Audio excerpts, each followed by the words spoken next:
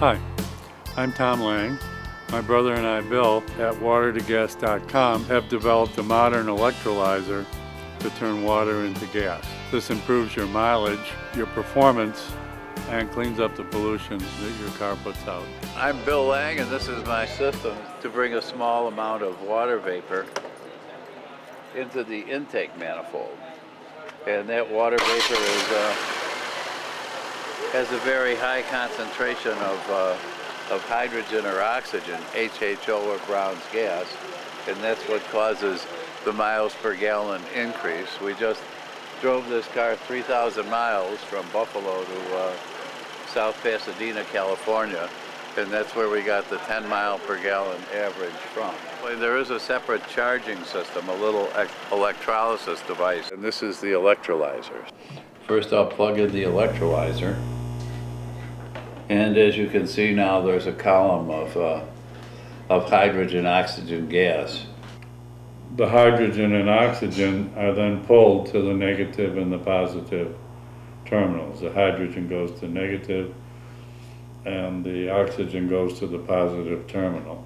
So now we've got this small area between the water and the top of the jar filling up with Brown's gas or HHO. And when I put this into some clean water here, it begins to bubble the mixed hydrogen oxygen gas into the water.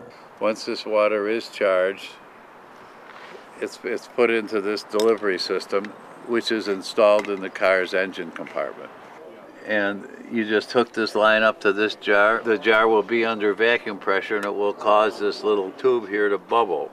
But as soon as you hook up a device like this to a to an automobile engine, it stops emitting harmful pollutants.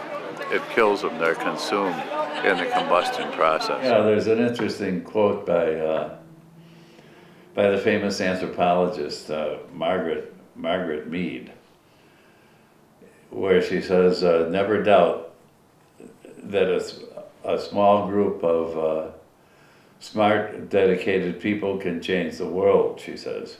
In fact, that's the only thing that ever has. And the way the way the hydrogen and oxygen is separated is it reverses the polarity of the H's and the O's. You know.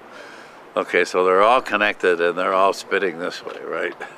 So you put a small amount of electrical current and some of them start to spin in the opposite direction, release the neutron bond, and, and they maintain this opposite charge. Maybe five years from now, cars will be running on Brown's gas 100%. And that will be the end of uh, the gas station model as we know it. that will be a sad day. No more, no more gasoline. Because, you know, one of the joys of capitalism, as we all know, the new technology totally obliterates the old technology. Bang! It's gone in 60 seconds.